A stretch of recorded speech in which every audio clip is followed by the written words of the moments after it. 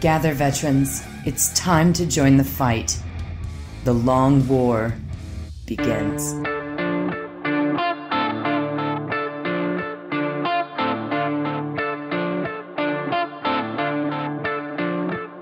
This is The Long War. I'm Rob Baer, and joining me once again are my partners in crime, Kenny Boucher and Wyatt Turk. What's up, guys? Yo, dog, great to be here. Yo, what's up? Wyatt, you look different tonight. I do. Uh, I sound shitty again for the second week in a row, but for an entirely different reason this time. Oof. Coming to us live from a Best Western Church in Baltimore. On a hill. Middle of Maryland somewhere. Sounds like It's fun. pretty country up here, though. Like It's I don't wanna- basically I don't wanna talk shit, Pennsylvania. like, it's, it's very pretty here.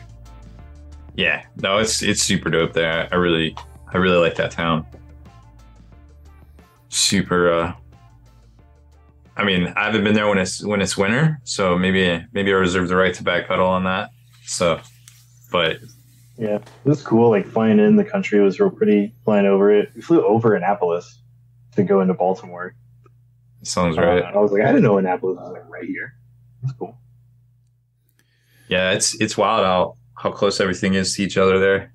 yeah, it's almost like the country was, you know, oh, like young and we didn't have like cars and shit and internets and whatnot. It's almost like in order to survive, you're kind of close together. And then as technology expanded and we expanded to the west, things got farther and farther away from each other because fuck people and we have cars. It's a it's a good synopsis of things. That's how I look at it. But uh we got a lot to talk about tonight. GW previews. Got some of these hmm new space dwarf fighters and new models, new her- new heresy stuff, and Wyatt's out there doing research for us. So we're going to talk about the news, and then we're going to talk about these leagues of squads that uh, everyone is polarized about. Why are they polarized? I just say things like that, so maybe that I can trigger people, Oh. Okay. so they can, wait.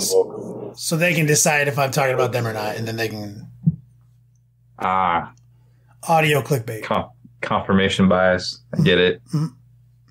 But nice. let's kick it over to Wyatt first and do our jokes.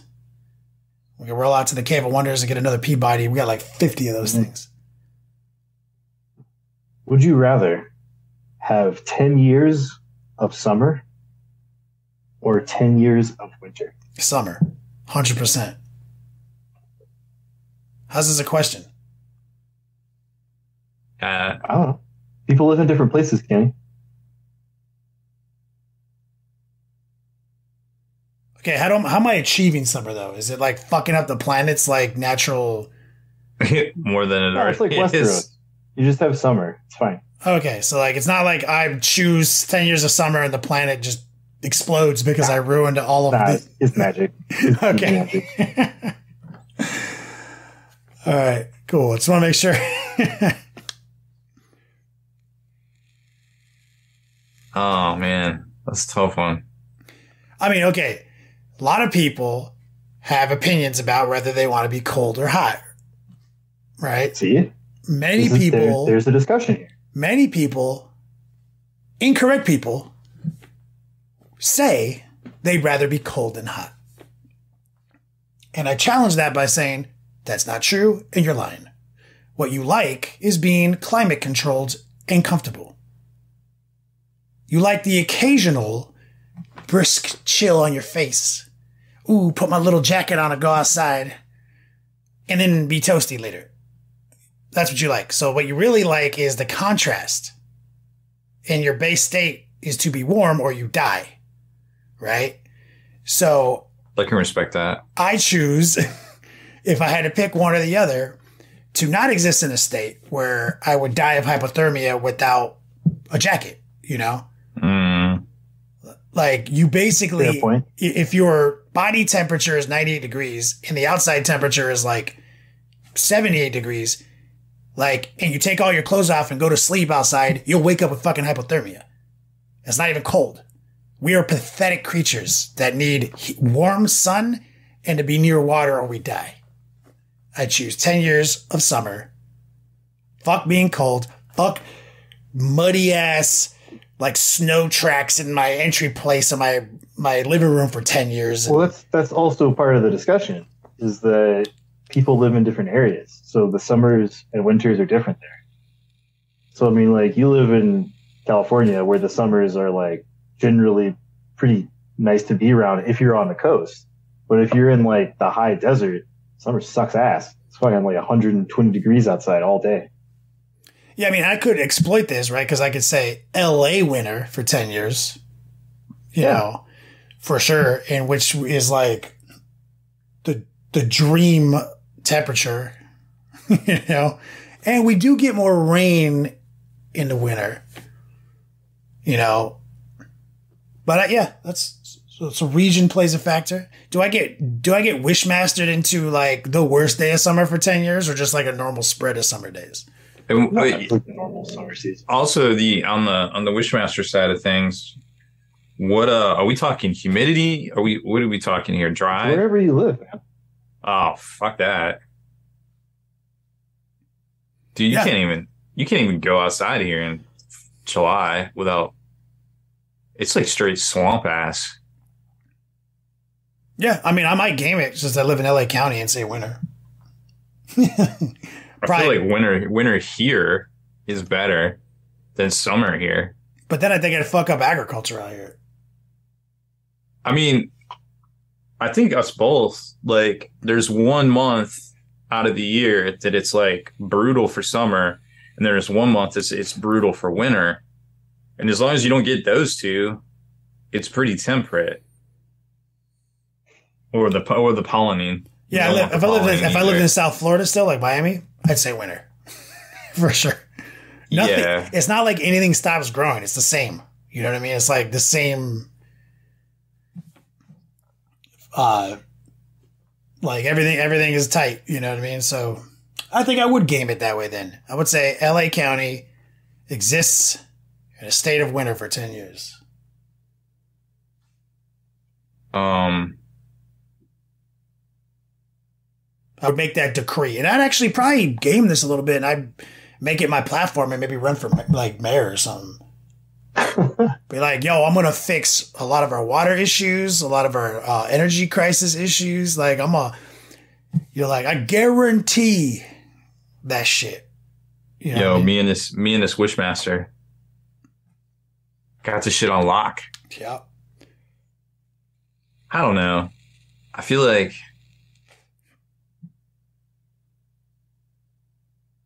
do you just get an average of like the three like summer's yeah, three yeah. months? You get an Average average of it? An average. Oh, then that's fine. I probably do probably do winter then for here. Pitch asked, yeah, that was the first question I asked Pitch too. Was like, am I blowing the planet up? Am I picking for the whole planet? he says, no, it's magic rules. Nah, that's fine. Yeah. Yeah, because I probably I'd fuck up some of our agriculture ex- uh, export cash flow, but I think I'd simultaneously repair a lot of our water import issues.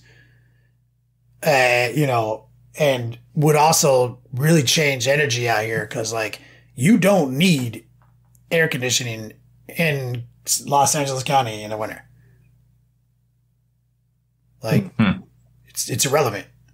You know what I've always wondered about the West Coast is like, you know, you, you can like desalinate water, right? But is it possible to like desalinate ocean water to the point of being potable? According to dear friends of mine that we are mutual acquaintance with, they've been doing that on submarines for 20 years. So that's what I'm saying. Like, why is there not like a massive like water desalination? You're saying something that Bonet says every week and gets mad about it. I, I was like, there's got to be a reason. Like, there's got to Almost be like somebody wants some to own technological water. reason that makes it not work. Almost like someone wants to own water. Oh yeah, Israelis do it. The Israelis built them built them shits everywhere. Almost like this weird law exists in most places where you can't capture rainwater. I wonder, I wonder what that's about. You know, you can't grow uh, wheat and oat either. Yeah, there's like a lot of strange laws, like almost as if someone's trying to corner markets. You also can't sell electricity. Yep. Yep. Definitely money involved. I don't know.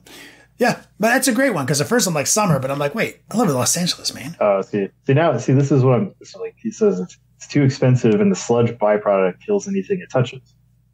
Oh, so it's like worse. So I'm, I'm very curious about that. I've always wondered this, like just like a shower thought. I've always wondered because like I thought if you just desalinate, you just have a bunch of dry ass salt hanging around. But I guess that's not the case. Perhaps. And also, Corbett makes a good point. Submarines have a nuclear reactor, so they also have like a power source that's like the best. Yeah, I guess You need like a a viewer of the show that's like a waterologist. Yeah, I want to get like a pro- expert in here one day so we can be like, okay, we're not doing a 40k I want podcast. to do like a surprise podcast where it's only about the desalination process for like an hour. on point. Yeah, I don't know. I think that's uh, definitely a, a good one. All All I know is the power goes out here and it's like under 40 degrees. I'm, Can't power your heat rock. Know? I'm getting a I'm getting a hotel because that shit was brutal. Yeah. It's been hot out here right now. Uh, like a hundred degrees a couple days in a row. Yeah, I don't know. But like ultimately I'm like, oh no, it's really hot outside and I just go back inside. You know I mean?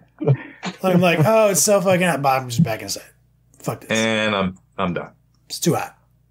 Or what's really happens is I go outside and I'm like, man, it's kind of hot out here. I go back inside and then the sun starts to go down and then I go back outside. And I'm like, ah, perfect. No jacket needed. Hmm, solid. Solid strategy. I like it. All right, let's do the news. We got we got some news. Or as Kenny likes to title it now in the in the uh, timestamps, lizard news. Yeah, I like to change it up every now and then. The nerve. All right, so going on pre-order this week. Which, by the way, if I had to guess or put a wager on a friendly wager, of course, on what the teaser and new releases are going to be coming out this Sunday on Warhammer Community, I would say the Votann Army box is going to go up for pre-order because they are going to ride that hype train all the way to Money Town. And if I had to also I'm, guess, I'm on it. Already bought I would- tickets. Oh yeah. I would say it's going to be a two week pre order come out middle of September. I think it's the 17th, but we'll find out just in a few short days if that prediction will, uh, of course, come true. But be, uh, be on the lookout. They said it would be September. We know the free mini of the month is Votann. We know the coin is Votann. So it's definitely coming in September and they're going to, they're going to ride that, that army train, army box train home. What are the coins? Are they just collectibles? Yeah, basically. You if you spend a hundred bucks at a Warhammer store, you get a coin. Uh, what I want to know is if they're gonna with the Warcry uh, free miniature. What they did was they had it on its own sprue, which was really cool. That was the first time they did that since uh, you know they rebooted Sigmar and uh, 40k. Then they had like little demo sprues, little Marine or uh, Sigmar dude. Actually, it might have been a lady, I forget, but so if they do that each month for this miniature of the month thing, that would that'd be really interesting. Because imagine if there's a bunch of Votann uh, little single duders going around that you could just pop into the you know the Warhammer store and be like, "Yo, give me my free mini." Make sure you flex on them. But that'd be neat to see. All right, so actually going on pre-order this Saturday, however, is uh, a little bit different sort of uh, offering. So we got the new White Dwarf coming out. Then the old Gellerpox Infected, Kenny's Kenny's boys That's my guys. coming out as a as a separate release from their 2018 Kill Team uh, uh, Killzone box. Uh, Sixty five dollars for them. The Star Striders, which I I think are actually seeing play right now on Nightless, and also maybe some Custody ones. Those are sixty dollars, also in the same box from in 2018. Then they're re-releasing or finally releasing the Phobos Strike Team with that upgrade sprue in it uh, from Moroch. That's sixty-five dollars.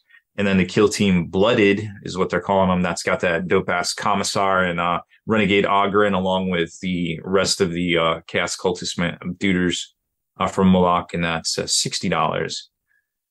Then the Kill Team Into the Dark box set with all those uh, corridors and things, and the new crew and the Imperial Navy breachers. Those that box is going to be two hundred and ten dollars.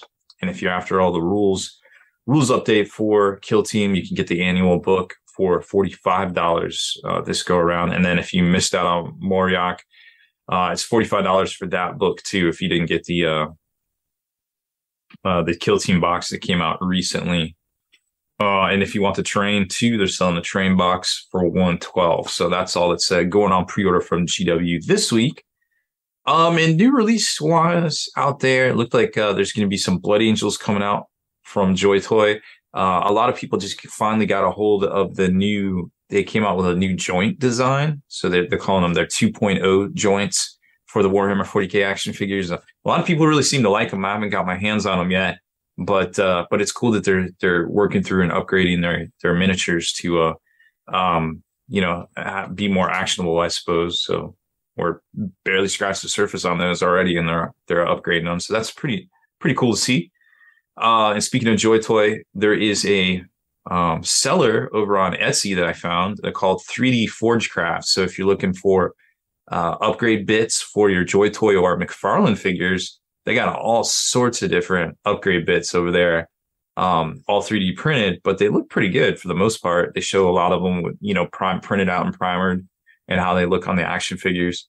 Um, so I don't know. Seemed pretty neat. Just a, just another way to customize your hobby, I suppose.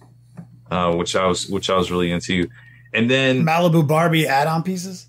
Yes, exactly. New accessory outfits. Heck yes.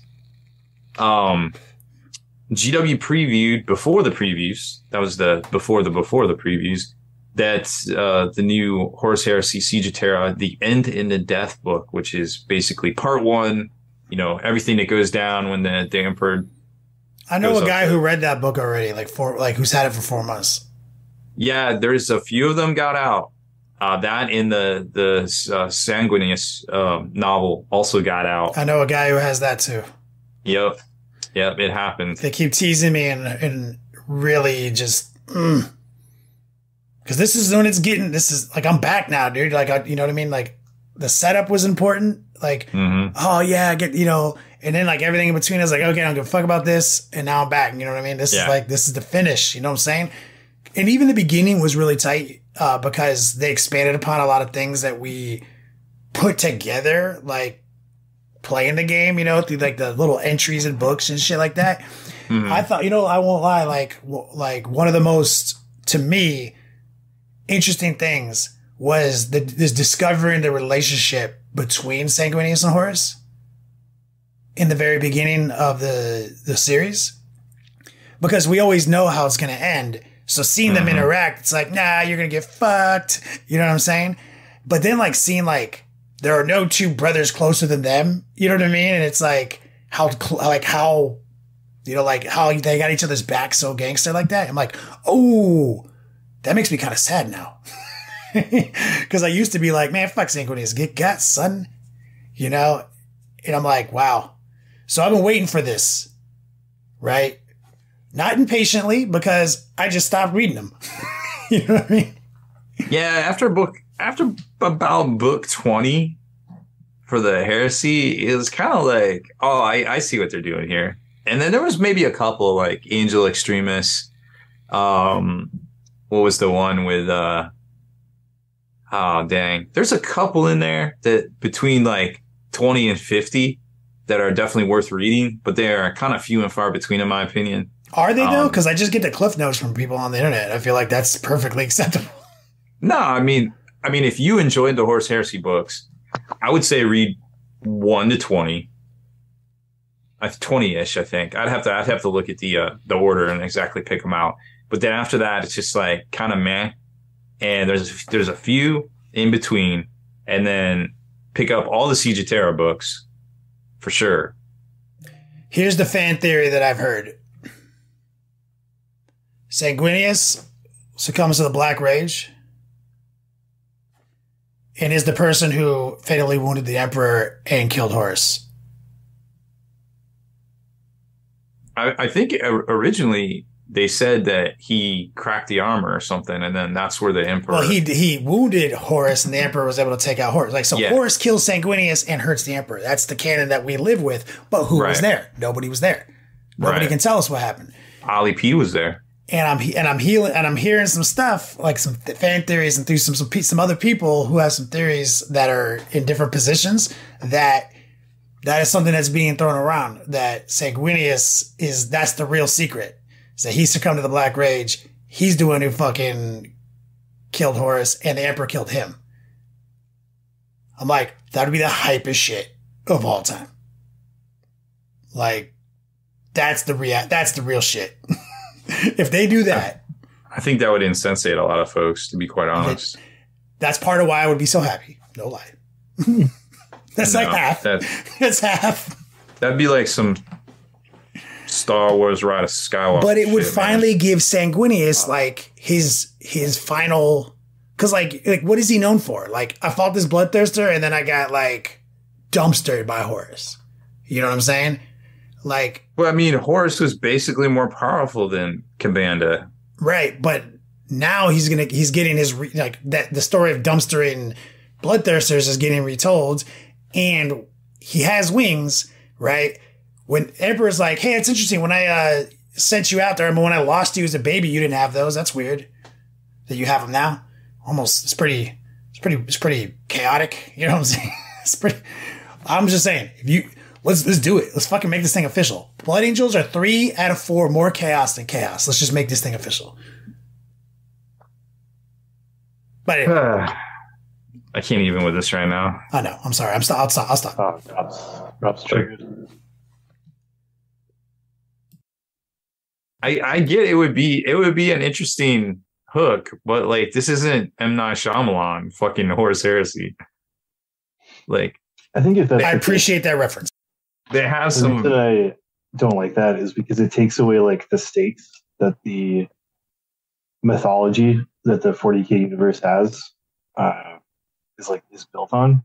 That's why like anybody, anytime somebody's like, oh, they need to bring back Sanguinius, I'm like, no, because then there's no, there's like no stakes. Like the mythology means nothing at that point. Like, sure, we kind of know how it went down, but we only know like the broad strokes. We're we're getting like all the context, all the juicy details, which is what makes Right. it interesting. So if they change it too much, it I think it kind of ruins the like the mythos. it, it could and i don't think they're like this is this is the shit that makes gw gw is this stuff their their ip basically and they are very very protective of it. And i i'm sure like you know we saw when all this shit kicked off they're sitting around a table like they've had conferences on this stuff. Like they've basically had their own internal focus groups. Like i i just i just don't see it. Although Abnett's a gangster and he comes up with some crazy shit sometimes out of nowhere. Like if there's gonna be some sort of gotcha, it's gonna be Abnett for sure, and it'll be dope, but it won't be like It won't be an M. Shamalama ding dong mic drop. no, I don't think so. I don't it. think so. All right. I mean, take there it. is, you know, Abnett has the chops for sure, but we'll just we'll just find out, man. Anyway, Siege of Terra, super dope. Um, maybe I should write an article about what Horus Heresy uh, books are actually worth reading because I've read the majority of them that I that I feel like contributed to what you want to know.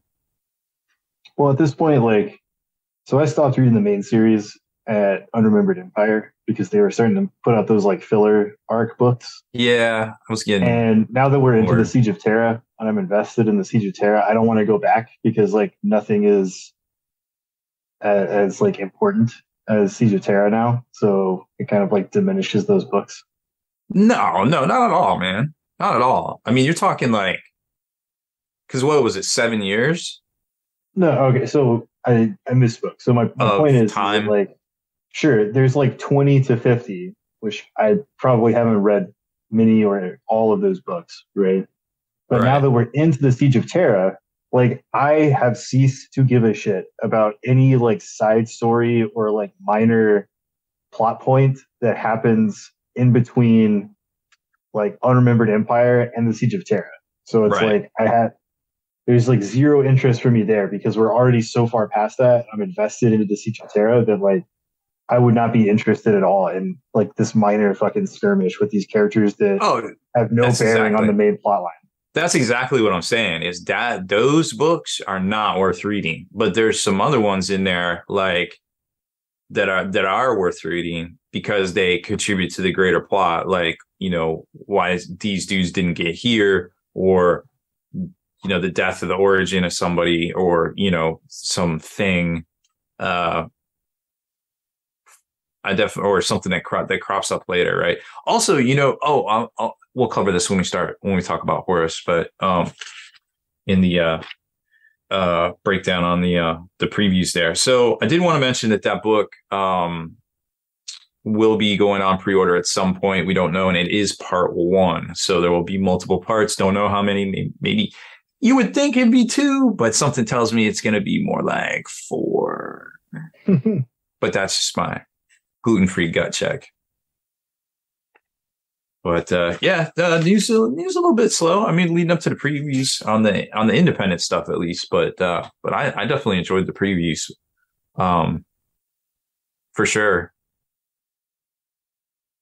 What do we want? What do we want? Where do we want to go next? We got Votann. We want to just roll in the previews. Sure. The big old big old GW Nova Open 2020. What's the, I mean, what's what are the? I mean, what is everyone talking about on the internet? Uh, I think people. The two big takeaways is Votann and Horus. Mm-hmm. Everything That- else was like pretty minor.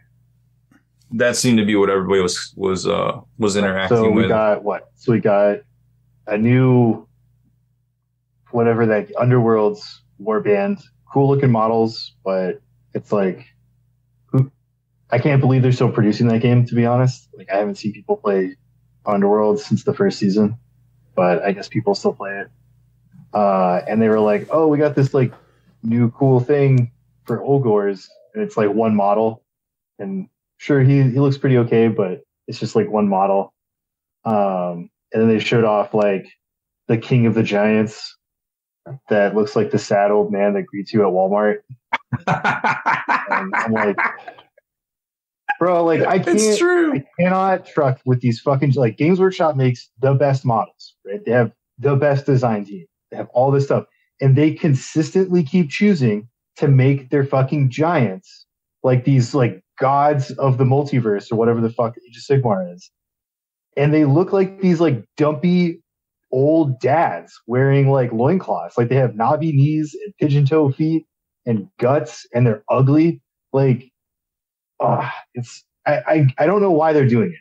Like maybe it's because like the giants in D and D are fucking cool and they don't want to copy D and D, but like your Games Workshop, you can do whatever you want, and like it could be Age of Sigmar, like the sons of Behemat, who's like this elder god, and they could have like storm giants and fire giants and like all that cool shit and look really cool, but they don't. They look ugly and gross. I'm just like I can't.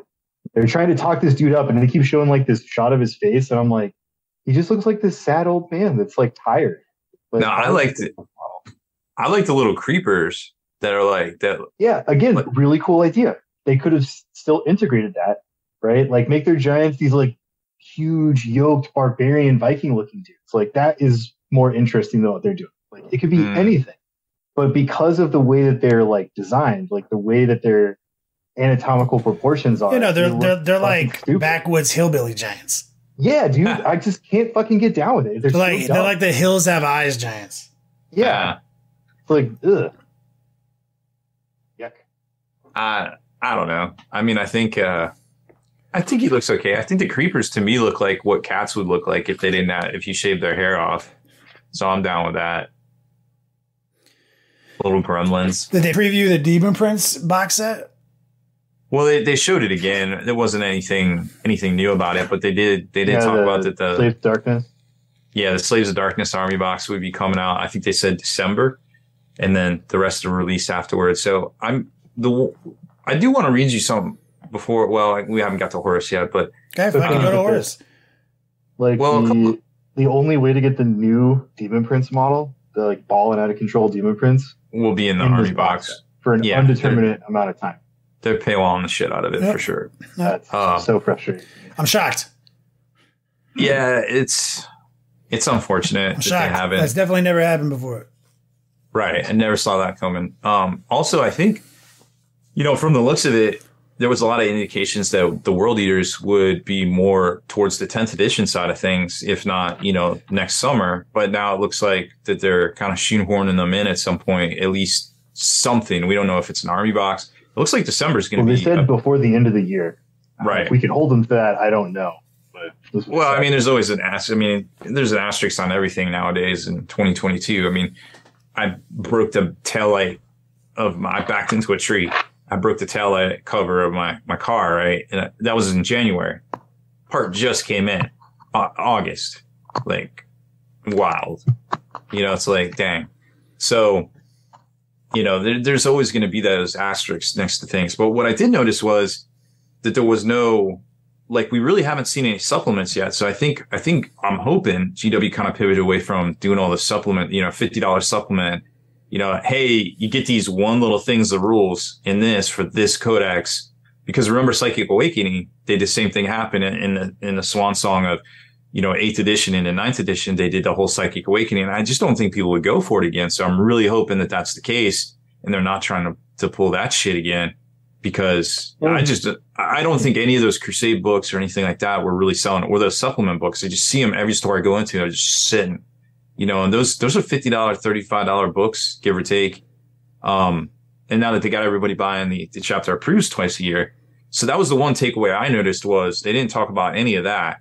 So I'm really hoping that that's the case. That they're just going to kind of, as much as we might not like it, roll out these army boxes and then a couple months later you get a couple of single releases for that army like whether it's Votann or whether it's world eaters or whether it's chaos slaves of darkness and the I mean, it's Friends. undeniably a better strategy to put out a box that has ridiculously awesome models with good rules that we want to Mm-hmm. convince us to part with money than to put out a box that costs hundreds of dollars that has like one new thing in it and a bunch of old things in it. And then we justify that by saying there's like $300 of stuff in a box that I'm buying for $250. Like that model's dead. So this model of perhaps all useful, cool shit paywalled Mhm. into the box, like that's, I mean, that seems like a stronger move because like I don't want to like that's why I don't buy those other I don't fuck with those other boxes. But like if you're telling me like the only way to get this Space Marine is in this I mean this Daemon Prince is in this box, I'm like, yeah, that's not a hard pill to swallow. You know? I mean, you, you're always going to be able to get these things on the secondary market, y'all. Like, you know, just exercise some restraint, perhaps. Like, you know, instead of spending two hundred dollars for the army box, or usually they're what two forty nine or something, because you get the codex and you get the data cards. Um, and it ends up you're you basically get those for free, Yeah. right? It's a it's a it's a Yeah, that model is dead now. Like they it's it's that everything's been on the shelf.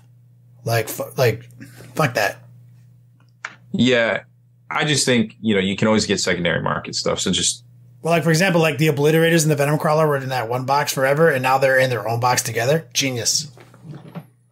That like well, that's just a sprue. yeah They literally like took that sprue. yeah they didn't make like, a new one. They didn't go. They're like, nah, this is it. You got to get both. I'm like, they're both useful. Got it. Well, yeah, they've definitely been going. That's the one smart thing about the rules is they've basically converted a lot of things to just be like, well, this is the way it comes, so this is the way you play it. Like, oh, and they've been okay. doing a better job at that. You know, like Yep. this is like I like this vote. Talk about the Votann box, like Uh, yeah. Let me pull up the. uh because that box whole, looks uh, kind of sick. It's a Yeah, two squads. Of like good value. so you get um, let's see, you get twenty of the Hearthkin warriors, The hearth, the Hearthkin. Hearthkin Yeah, warriors, that's which choice. which can be taken as two squads of 10, of course, to fill out a combat patrol. Uh, 104 page codex with the exclusive cover, 50 data cards, Um, the N N here champion. That's the dude with the the huge ass hammer and the the cool like bolter shield sort of things. Um, Hernkyn Pioneers. Those are the jet bikes. You get three of those. Um, so just off the, you know, just off the cuff there, and of course the book, I probably put a value of sixty bucks each for each of the squat squads.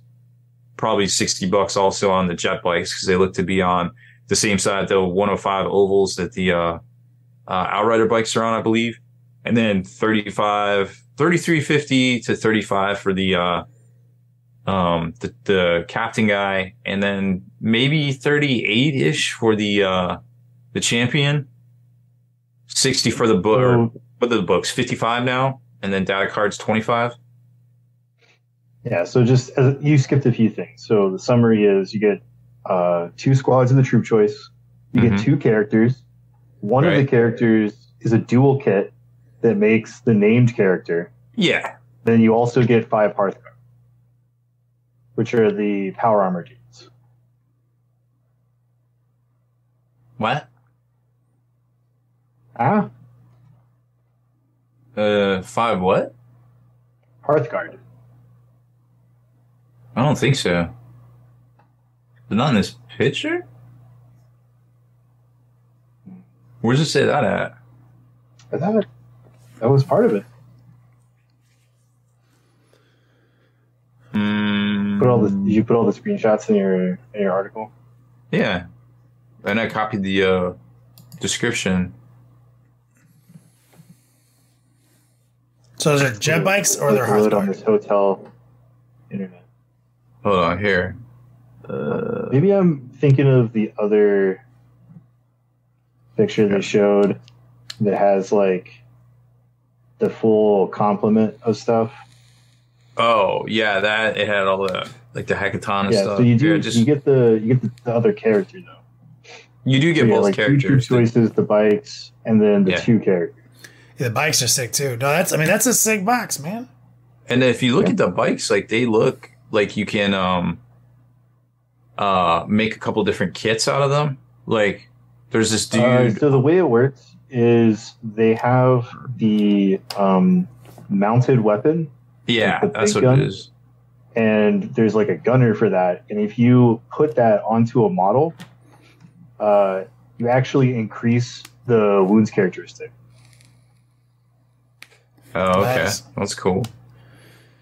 So the Votann were like a big deal, right? It's a new faction. They talked about so much. They showed off all the new models. And uh, let's let's talk about the the one the the tank, the vehicle that everyone, The land fortress. the land fortress, which Oh, we yeah. we had a picture of it up in the after I hours. just- I just sent you a picture too. You're gonna really like this one. and uh, Uh, I haven't seen any of these. something. I haven't seen any of this stuff. I've been staying like away from the internet on this subject. Oh my god, this is so good. it's so good. Somebody converted to be like the turtle van. oh wow, it's actually well photoshopped. That is well photoshopped. It's probably uh Evan Valdyke. Yeah, that shit is glorious. So this so this new vehicle is I've been seeing a lot of polarizing opinions about it, right? Uh some people some people hate it, some people don't like it, whatever. It's brand new. It's totally different looking. Nothing in GW's lineup looks like it. And it's well crafted. And I think they did a good job. I mean, I do too. I'm, I stay pretty objective though, like, cause like, I feel like until you hold something in your hand, all Mhm. you have is a flat 2D digital output of a thing that you can physically Yeah. hold. So all you have is your critique. you know what I mean? Of the model. I've never, any model I've ever been slightly critical of that I physically put in my hands, all all critique, all critical nature vanished. Once I had like that dope model in my hand. Yeah. What one, I- the one that comes to mind was Centurions when they dropped. Yep. Like or that even the the Storm Raven. People were like Storm Raven, uh, Dread Dread Knight was one too. Like these are models I was, I was personally also critical of. Uh, all of those. And once I had my first box of three Centurions, I was like, these are fucking dope.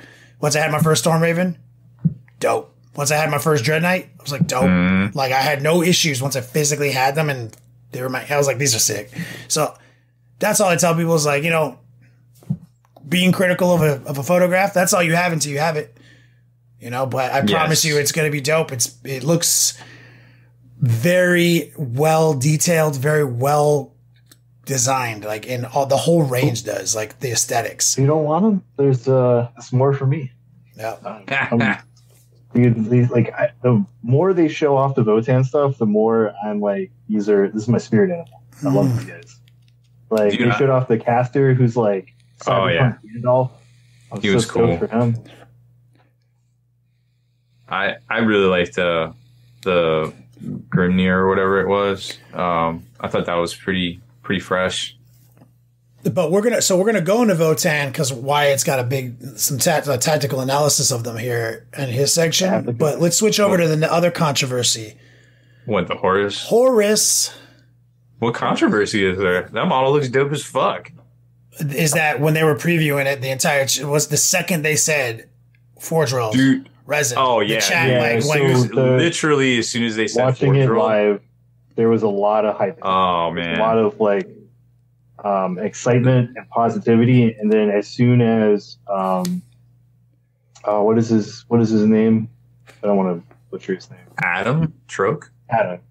Uh, as soon as Adam was like, "Yeah, it's going to be Forge World resin," and, and, and even then, when he kind of said it, he wasn't very confident about it. Like, I think they kind of knew that that was going to be like a detraction from the the good vibes. You know, he's like, "Yeah, it's going to be Forge World resident, and uh, it was not received very well. Uh, No, just so No. like just so people understand, this is not like a hundred people watching my live painting tutorial or like two hundred people watching Kenny's live painting tutorial. This was like fifteen thousand people watching Which- this live. in and of itself, fifteen thousand people is about half of what they would get normally, like in the past Right, previews for this like- sort of thing. If you were to poll fifteen thousand people, that is a pretty good polling metric. Yeah. And so fifteen thousand people watching this, and it did not go well. no, no, it didn't. But I mean, well, two reasons, and then people, you know, and that was basically what people said. They're like price, obviously, but also just a lot of people don't like messing with resin. Like a lot of folks never messed with it. There isn't a lot of guides out there on GW side for messing with Forge World resin. We talked in the pregame about the quality control issues from Forge World. Like you get anybody else's resin, there really isn't any issues. Mm-hmm.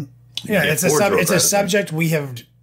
I feel like as eloquently as possible with a as source material experts and professionals have broached over the years. Like there's boutique ma- resin manufacturers who are ahead of Forge World right now in quality control, and GW obviously knows it based on what Wyatt's assessment of like you can even see like the cringe as he's bringing it up because he kind of knows it's the the, the hang up like the yeah, and moment it's like when it, it bothers me, right? Because it's like if I work for a company, right?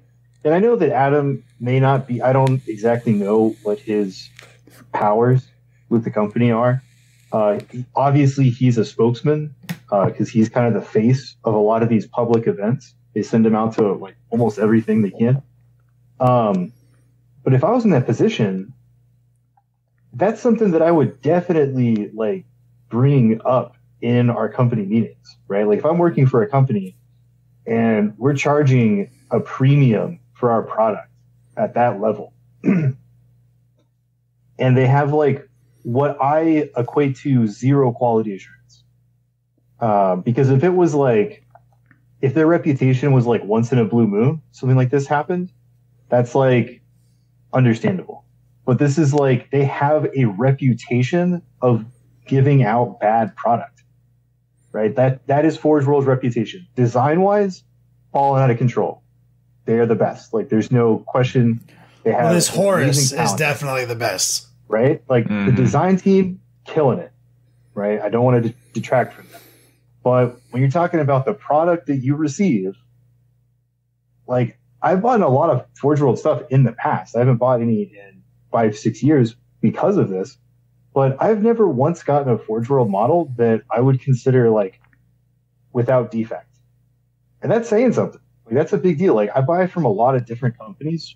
Like talking about people that are smaller with uh, less margins, like Creature Caster or Artel or hmm uh, what's one of the other ones? Um, they make a lot of minis, Who am I thinking? Libra Demonica, Like, there's there's so many, Promlag. right? And there's a lot.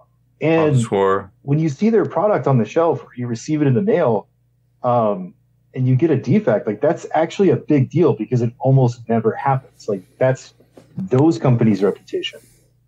So when you see this stuff with Forge World, it's not that like the model isn't tight, it's that it's tight, but it makes you sad because you know that if you were to buy one, it's gonna be all fucked up when you get it. And that's Mhm. that's like And G- I oh, mean, GW has entered into a world now where people are voting with their hobby dollars now. That's the difference. Yep. Back in the day, they didn't. It, it didn't matter. They were like, they're gonna buy it. Who cares? yeah, it just boggles my mind they let it go on for so long. I well, I don't think they, believe I don't think they realize they're at that point yet. I mean, they know they have the metrics. They're like, why aren't people buying shit, or why aren't people at this? You know, remember they basically did a sale last when it was when it really started to get slow last like uh, November October. They did a sale. They're just like they didn't call it a sale. They did a sale. They did discounts. like this summer has been brutal for retail. Like I read a uh, article in the Wall Street Journal this week that was basically like retailers are are just flooded with inventory right now, and everybody's trying to clearance shit out and bring in their their holiday stuff. You know, this Labor Day weekend. Of course, you know we're gonna have a sale on the 3D made to order marketplace too because why not? Right? It's been slow, so give everybody the opportunity to like pick stuff up. You know, for whatever project they're working on. But like you know, we're we're small we're we're small potatoes here. Like we're not amazing. We're not Bed Bath and Beyond, which probably is going to go out of business. Anyways, if you load that store up, sorry. Uh, you know, so there's there's a lot of stuff out there in retail, and it, when it trickles down to to our niche, right? Like they just haven't really gotten it yet. And in G Dub, they're not making the right pivots fast enough, in my opinion. But I mean, showing dope shit off, and you know, this new horse, Yeah. it's it's awesome to see. It's one of the best awesome models. I've ever seen. It uh, it is. It is. It's it's one. I mean, as soon as they showed it, I was like, oh, oh, oh, oh. oh man, this is this is dope. Now imagine when they do the Emperor, right? Like they got to at I don't some know. point. Like every time I kind of have to like temper my expectation because like when they showed this off, like it was so clean that I'm like, oh shit, they're making like a plastic like Horus for the new plastic Horus Heresy range. This is fucking tight. And then when they were like, yeah, this is going to be a Forge World resin model, I'm like, oh, so what they're showing us is their 3D printed prototype that they painted up all nice. Yeah, well, that's- they've been doing that products since- they're going to sell is going to be not even close to that. Um, You're never gonna get those talons in- intact, Doug. It's just Never going to happen. it's yeah. I mean, it's 50-50. I mean, maybe maybe this time it'll be different. I, I just don't- like looking at pictures. I'm never gonna have one. That's how I. That's how I reconcile that. um Well, I mean, I'm just saying, like, people would maybe not buy recasts as much if they, you know, got fair value for their dollars. Because, like, the reason that I'll buy from somebody else is because they'll get that model and they'll fix it before then creating a new mold and casting Mhm. that. I don't think GW cares about selling models that much anymore, man. They're a licensing house now.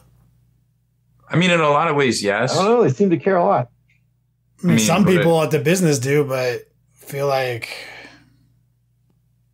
I just feel like that hasn't been their trend in their numbers this year. It definitely hasn't, but I mean that's because again they haven't been quick to pivot based on you know what has happened in the past year with consumer confidence. They just can't keep doing the same things that worked for years and years and years and years. And eh, you know they they're they're already eighteen months out. Like once they decided they needed to pivot, like maybe last summer we'll say, or maybe even last spring when Pariah Nexus was you know people were like WTF. Um, you know, that would put them out to this holiday's releases. So say they realized last spring that, oh crap, people aren't drinking the Kool-Aid anymore. We got to do something. What do we do? And they came up with a bunch of plans and they decided to implement one. And maybe that's what we're seeing now with all these army boxes and these multiple waves of releases instead of the psychic awakening stuff. It's really hard to say, but they have been doing subtle, subtle pivots. But in a lot of ways, it, it kind of might be too little too late, unfortunately. But again, we're seeing stuff now in these previews and we're seeing things go a different way, you know, where we know what codexes are coming out up until the end of the year. We have a vague idea what's coming out, right? Like, but here's the thing a lot of people didn't ask, you know, they're like, oh, okay, Astra Militarum will be, you know, after the Votann. Okay, cool. You know, that, that all works. But what about all that Space Marine stuff we've been seeing? Like, is that going to be next summer now? Or is that going to be spring? Like, where's that going to drop? Right. So Yeah, there's still like, plenty of stuff a- out there. Um, I mean, marketing is hard, dude. Like, it just is. Like, there's, it's, it's, uh, we see it everywhere. We see it with movies, see it with, um, TV shows, video games, like all these Mhm. other sectors where there's like, there's a sweet spot to unveil something where people wait a certain amount of time where that, like, that wait is acceptable. So that's why when they show stuff off, they're like, it's coming this time, right? So it's like they show off a trailer for a movie. It might be next year, but you know that it's going to be like eight, nine months next year, and you have that expectation. The problem that Games Workshop has is they've only taken like part of that. Like they've taken like part of the thing that works and not the other half, and that's why it's not working for them. It's like, sure, we want to see these shiny new exciting things but also there's that follow-up where it's like hey here's this cool new like space marine thing. Expect it in like march right? And if if they did that i think that is like that sweet spot that people want. Like you don't have to tell people that it's going to be on like march 16th uh at this hour or whatever because like sometimes that's not feasible but if you're like six months out march of next year then people have that expectation. They're like, oh, okay, Mhm. cool. Like I know that it's coming. Uh, I know that it's going to be in March. Um, I can I can kind of wait and I can expect for that. But it's these like we're going to show you this thing, and then it's like who fucking knows when it's going to come out, and like no word at all until it's like the pre-release week, right? Like they need to figure out that sweet sauce that everybody Mhm. else already knows. Is just you know if you're going to show off this new Daemon Prince model, be like, hey, expect this new Daemon Prince model in like October. You know, and people would be fine with that. Yeah, I, I agree with you. I did want to read this uh, thing that I think a few a few folks might have overlooked. You know, the, when it come when it came to Horus, because they didn't really touch on it in the stream either. So here's the exact verbatim description on GW site. Rendered in high detail resin, this model is the first in a new character series from Forge World, representing each of the Primarchs at the height of the heresy, whether fully under the sway of chaos or rallying to defend the Imperium in its darkest hour, giving us a fresh look at the driving characters of this epic saga as they lead their legions into the biggest battles. So all 18 Primarchs are going to get new models. Well, Boom. 17, right? Oh, yeah. I guess 17. All We're 17 gonna get, like- Primarchs. we're gonna get like a uh, like in memoriam for Ferrus Manus. We're talking Yeah. like the height of the heresy. Like that Maybe fool's been he's- dead for years at this point.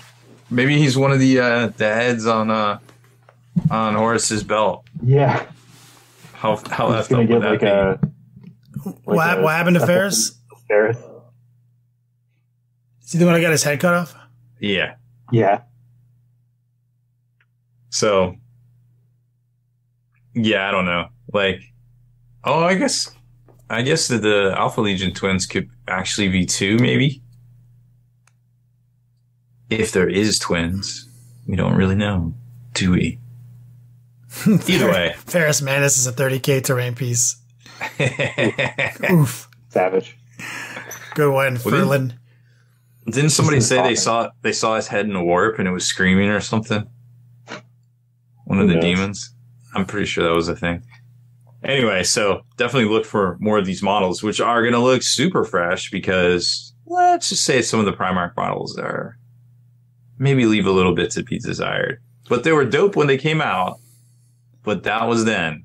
No, I'm this is excited. now. All right, so so we can stay on track and meet our time goals. Uh, Rob, you want to kick it over to Wyatt so we can talk about Votann? Hey, hey, Wyatt, let's talk about Votann. Yeah. Cool. so, the new kids on the block. What do you need to know about the Votann? So, uh, Codex was leaked. It's out there. I can't tell you where to find it, but you know, if you're cool, you'll figure it out. Let's start off with some of the important things saw- you need to know, even if you're not going to play Votann. Right? I saw a bunch of it on Spikey Bits. Just Oh, yeah. saying. You check there. You check there. It's definitely, it's Uh, definitely on Spike Spikey Bits. Get that credit card ready for them pills. For them pills. Them pills. You know which ones. Uh, so ones. even if you're not going to play Votann, if you're, you're probably going to play against some Votann, right? So three of the big army-wide rules you got to know about. Okay. First one is going to be Eye of the Ancestors, right? And this is the overarching um, kind of defensive ability. Or no, sorry. Uh, this is the overarching offensive ability that the Votann are going to have, right? And you know, dwarves, they're they're kind of grumpy. They hold a grudge. So this is What? the like the grudge mechanic for the space dwarves. They're called judgment tokens, and Eye of the Ancestors is kind of the big word salad rule for how things get these tokens, right? So if an enemy unit destroys a Votann unit, that enemy unit gets one token. If an enemy unit successfully completes an action or a psychic action, they get a token. And at the end of your opponent's turns, the Votann player can pick an enemy unit that's within range of an objective marker uh, that your opponent controls, and that unit gets a judgment token. So if I'm playing Votann and Rob is playing Custodes, and at the end of Rob's turn, he's holding an objective, um, I get to pick that unit and they get a judgment token. And you don't spend them, they're just there forever until the end of the game. If something is like placed in a transport, they still have them. Uh, if Mm. they're picked up off the table and brought back on, they still have them, like that kind of thing, right? I like that they made that uh, clarification too. Yeah, makes a lot of sense. Um, and you can only ever have three. Goes from one to three, maxes out at three. And the way it works is uh, when a Votann unit uh, attacks a unit with a judgment token on an unmodified hit roll of six, it automatically wounds the target. If it has two, that number changes to a five. If it has three, that number changes to a four. So the unit has three judgment tokens, and I shoot all my guns at you. Uh, any hit roll of a four is going to automatically wound. Right? That's their that's their cool mechanic. Mm. That is a cool mechanic. Right. Uh, the second one is called steady advance. So dwarves, they're not marathon runners, but they are dangerous over short distances. Uh, most of the units have movement five. Right. They got stubby little legs, uh, and they don't run very fast. Right. So they have this rule called steady advance. And the way that works is they ignore modifiers to movement characteristic and any or all modifiers to its advance or charge rolls. Right. So if they're in range, like they're they're getting there. They don't care about modifiers. And then the second thing is that when they advance, they don't make a roll. They just go three inches.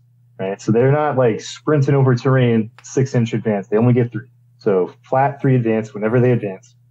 Unless they have a keyword called accelerated. These are for the vehicles. So all the vehicles are going to get uh, six inch advance, just flat six. So it's either three or six, like no uh, random dice stick. So when you're playing against Votann, it's actually quite a bit easier to pre-measure your opponent's movement because you know that that guy is only moving five, six, seven, eight with an advance roll, and that's it. Like that's all they get. And then the third one is called Void Armor. So they have all this cool tech. They live out in the void with their spacesuits and everything, and it's a two-parter. And everything in the Codex has these three rules, which is why it's important. So for void armor, each time an attack is made against that this unit, your opponent cannot reroll the wound roll and cannot reroll the damage roll. Holy shit. And it has built-in hmm. armor content. I think the Hekaton has that void armor, by the way. All of their data sheets have these three rules. Every Yeah. single one. Wow. These are the, that's like the three big things you need to know. Damn. So I mean, army wide, has- no wound reroll. or damage reroll. Also important. Interesting. So just if you're if you're going to see them on the table, you know that like no wound rerolls, no damage rerolls, and they have built-in armor and contempt. Um, you know what their movement values are going to be. Everything is set to those values, um, and you know about the judgment token thing. Mm. Uh, they do have sub factions. They're called leagues. So instead of chapters or whatever, they're just called leagues, right? There's a, a number of them. We're not going to get into every single one, but there's a couple of good ones. Uh, there was kind of the main poster guys, which are called the Greater Thurian League. They have that kind of like jade green armor color and white color scheme. Um, and every league has like two things. Um, they have their custom, which is kind of like their chapter tactic, right? So, for example, the Greater Thurian League, uh, they count as two models when determining control of an objective marker, or five models if they have a wound characteristic of 10 or more. And each time a unit with this custom is selected to shoot or fight, you can reroll one hit roll or one wound roll when making that unit's attacks. Pretty standard. And then the other thing they have is the ancestral judgment. And each one of the leagues is a different one of these. Uh, just for example, on these guys, each time a model with this custom makes an attack against a target that has one or more judgment tokens, that enemy unit is considered to have one more judgment token than it actually has to a maximum of three when determining what bonuses apply to the attacking model's attacks. Very useful. Uh, each of these is also going to have a warlord treat, a relic, and a stratagem. Um, there's another league that uh, I like a lot. They have a pretty straightforward, kind of tough beat 'em up uh, league custom. They're called the Ymyr Conglomerate, and their league custom is they add four to range characteristic of all ranged weapons, excluding relics and models in a unit with this custom have a sa- that have a save characteristic of two plus also gain a four up invulnerable save.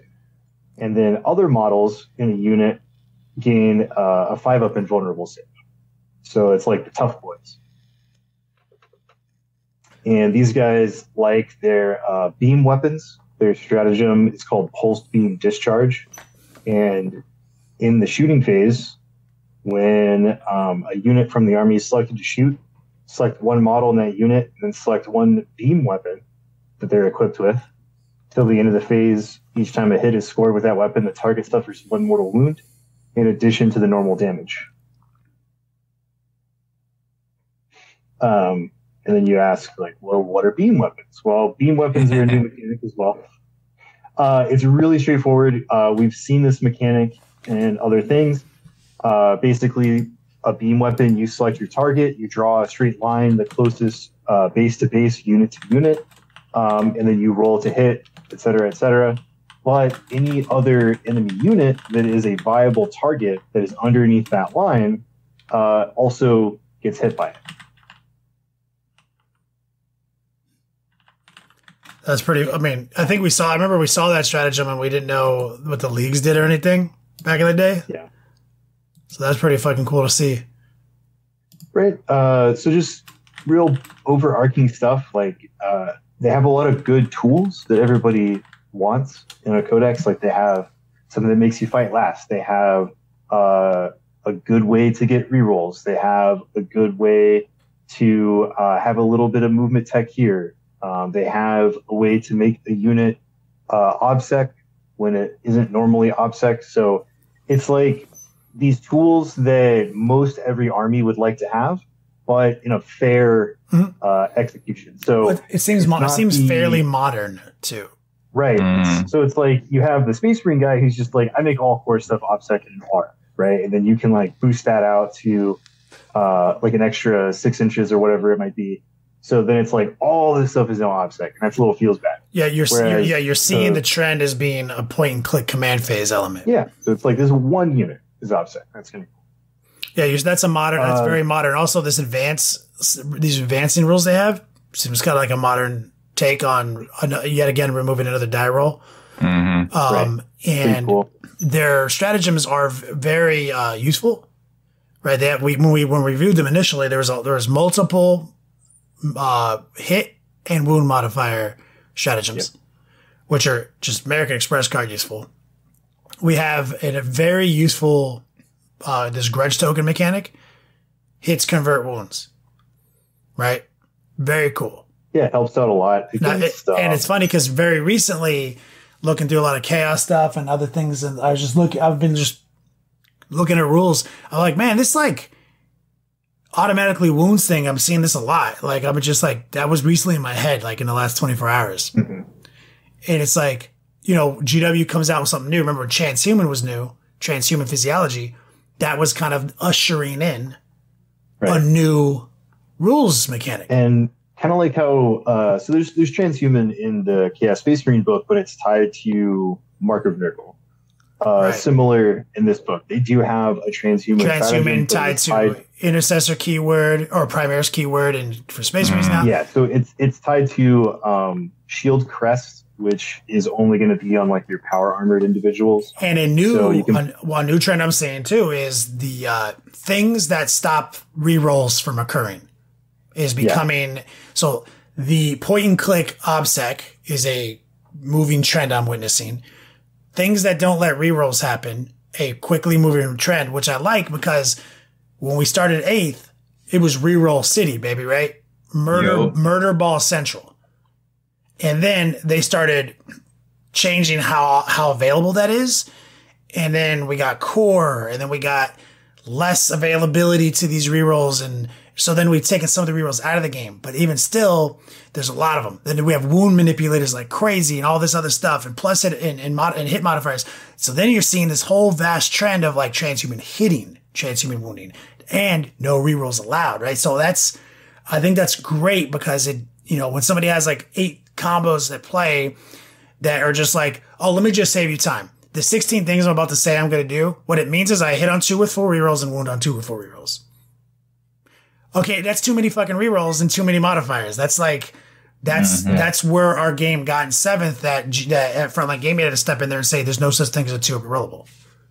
Remember, like basically, it kind of fixes itself. These guys have an army wide no wound reroll, like damage reroll as well, which is less important because they also trended out D3s and stuff like that as much as they could so that we have more flat statistical damage.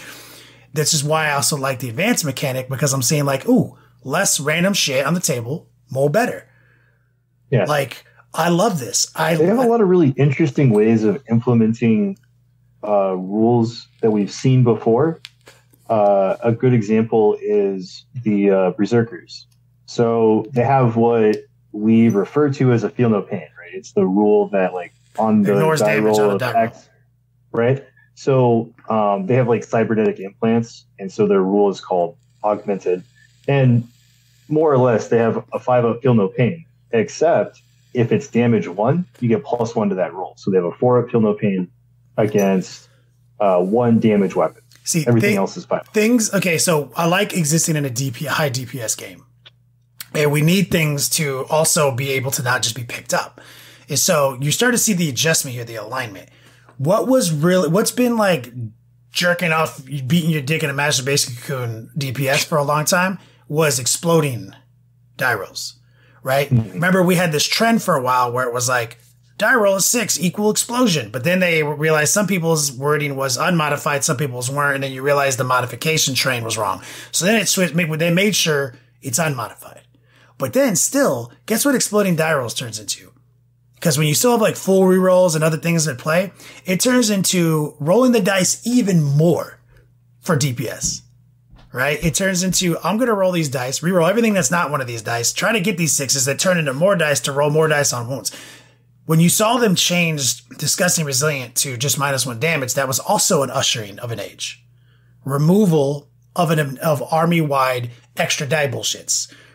So exploding sixes, I think, is going to start turning into auto wound mechanics, is what I've been detecting. So I think we're hmm. seeing where like the modern, like the modernization of ninth of tenth edition. I think we're seeing it now, like army wide rules that can turn into more die rolls are actually showcasing that's not. It's going to be more DPS with the same amount of die rolls. That's what auto wounding is. Because and the fact and, and the fact is that they don't even incur the the the thing that allows them to generate the auto wound by doing anything. So it's not like I have to do a bunch of shit to achieve that result. It's just my opponent's playing his game and his tokens are showing up. There's no nothing's happening. And then I go, oh yeah, and by the way, I pick one. That's it. Okay, we're done with that mechanic. Now as I go through my turn, I'm looking at tokens out there. And I'm like, okay, less die rolls.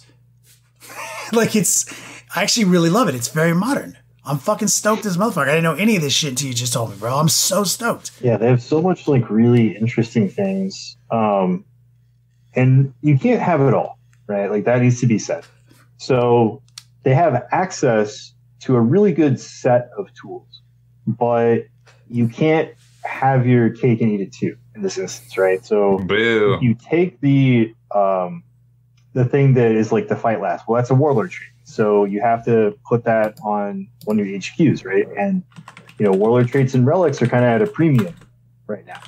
So you're giving up uh, possibly like a more offensive warlord trait, or possibly a more like buffy warlord trait to take this like fight last ability. Um, things like your uh, relics, like you have some really good relics that uh, give you utility or buff your guys. So you're not able to have like your crazy buffs and also an insane DPS relic, that kind of thing. Um, you can't have uh, all of the great uh, league traits, right? Because one of the problems we ran into with previous codexes is that you could like see this one really good trait from this one chapter and a good trait from another chapter, and then both of those would be on the make your own chapter, and so you would just do that. Um, that does not exist in this codex. You can make your own league, but these like cool rules, like the the Ymyr rule that gives your guys like the invul saves, um, that does not exist in the make your own traits. Like you got to really commit to one of these league play styles uh, because you can't have every single awesome thing at once. Yeah. Uh, and it's also important to note that like their troop choices, they have this this defensive buff with the uh, the void armor, but it's on a toughness four guy with one wound and a four up armor save. So sure you can like put him in cover and all that kind of stuff, but he's still not going to be as tough as your average intercessor. Like your average intercessor on the math is going to be way tougher than a Hearthkyn warrior. Um, and another thing to note about these guys is that uh, war gear is actually going to be kind of important. So you have your warriors, and sure, they just have like slightly better bolt guns. Uh, they're not as tough, but they have a whole slew of war gear they can take. So, for example, they can take a guy with a med pack, which gives them the uh, the Helix Gauntlet ability. So the first failed save uh, damage is changed to zero. Um, they can take a comms array, which is kind of like a the old voxcaster style or the the data tether kind of thing, where if they're within so many inches of your character, they still get his buff, but you have to pay for this piece of war gear. Um, there's a, a scanner that lets you ignore cover. So if you want to ignore light cover, you got to buy this this scanner. Um, and they have some cool weapons, but you can only take two of them, right? So there's no like my whole squad has like all this cool shit. It's like you get two special weapons. They're like OG tactical squads. Um, I bet that's some what I bet that's what comes in the box too. Yep. Uh, yeah, the Warriors like it, That's it looks have, like. um, all these really cool options, but you're limited in what you can actually take. And uh, the points are not as spammable as you might think. Like a basic uh, troop unit is 110 points because um, they're 11 points a guy, and then all their war gear stuff is like 10 points here, 10 points here, five points here, that kind of thing. Uh, Hearthguard, which are kind of like your big beefy Terminator guys, they're 35 points a model, so they're actually more than a Chaos Terminator. The uh, Berserkers are 22 points a model for a you know Berserker guy with a six up armor save, right? Um, some of their stuff is like I think pretty fair. Like their bikes are uh, 30 points a piece, so a unit of three is 90 points. And then if you want the good stuff, you have to pay for it. You got to upgrade them for another like 10, 15 points. Um, and they have no close combat weapons. So if you touch these guys, like that's that's not what they want. Um, the uh, land fortress that we talked about, right? It's 230 points for mm. the mm-hmm. mainline battle tank. Uh, it's kind of right, I think, at a good uh, point cost for what you're getting because it's this big T8 16 wound main battle tank that also has uh, transport capability. It's got like one good gun on it, and the other guns are kind of eh, kind of meh, and a number of uh, upgrades that you can give it to it. But it's like 10 points, 10 points, 10 points. So, you know, if you want to stack these things to the guild, it's still going to be like 260 points or whatever. So it seems like a lot. You're not going to have like a million of these dudes.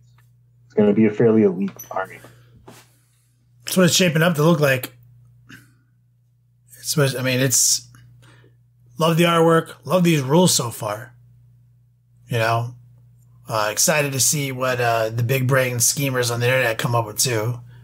Oh, I'm sure they're already scheming. Yeah, it's important to um, like if you're going to be playing against these guys, uh, their stuff is like really straight up. Like there's none of this stuff is like hard to understand. Like they don't have these like kind of word salad type rules like other armies have. It's just like mm. this is what it does, man. Like it's just um and something to note, like the the power armor guys seem really good. These tough guys, they seem really good. But the thing is, they're kind of like the aspect warriors or like kind of like dire avengers in that um only the sergeant comes with an invul save to start with. So you have these uh, like kind of Terminator equivalent dudes that don't have an invul save. Only the sergeant does. So they're not as like hard to kill as you might think, like out the gate. So you're gonna have to like kind of chew through some of these guys. Like you're gonna force your opponent to spend CP on some buffs to kind of make them more defensive, that kind of thing. So they're they're kind of resource heavy to make these guys really survivable? Well, fuck yeah. A lot of people in chat have been also talking about demons. We haven't uh, done a big demon breakdown yet. Got, oh, yeah. got sidetracked by all this shiny, shiny new stuff. But uh, the demon codex is floating around out there, and so we got two totally different new facts or new faction and new codex that are so different in so different in so many different ways, but so powerful. Mm-hmm. So at some point we'll have to get together and scrape up a final thought process on the new demons. Maybe next week, but Wyatt's also got a tournament this weekend. He's bringing his cast Space Marines back out, which he's been on a, a, pretty fun winning streak with, and you're currently number one Red Corsairs. Oh, yeah. mm-hmm. Well, we'll see. Uh, this Votann stuff comes out, I don't know. Like it's it's it's gonna be hard to stick with chaos when I have all this shiny new stuff that I'm hyped for. Yeah, that's my that's forty. That's forty k, man. Forty k is like. It's been a long time since I've been like hyped through an army like this. Constantly, constantly seeking new projects and new new new models, man. It's like it's like my favorite part, man. Is like finishing models and then seeing new models. You know, like it's it's, it's endless. Like I've never once like painted an army and been like, that's it. It's the last model I'll ever paint. I finally did it. I've done it. It's never happened. fucking stoked. But uh, yeah, let's get out of here so we can stay on schedule for our new time slot. Thank you for boots on the ground investigation, investigative Once journalism. Uh, I apologize for my candy ass. Yeah, we got to apologize for Rob. He's got it. He's got earlier bedtimes now, doctor's orders. Wyatt will be keeping us updated, I'm sure, on his journey over the weekend with Red Corsairs. And I will kick it over to Wyatt to take us out of here. That's not how any of this works. Hey, Rob. Oh, hey. Hey, Take what, us out of here. Oh yeah, sure, a- absolutely, anything for you, buddy. so that's it for this one, y'all. Uh, make sure to head over to the uh, Longwood. I wasn't prepared for this. I, I messed it. I'm good for one of these a year. Oh Uh, my God, Rob. For exclusive content, early access videos, and more, become a veteran of the Long War today.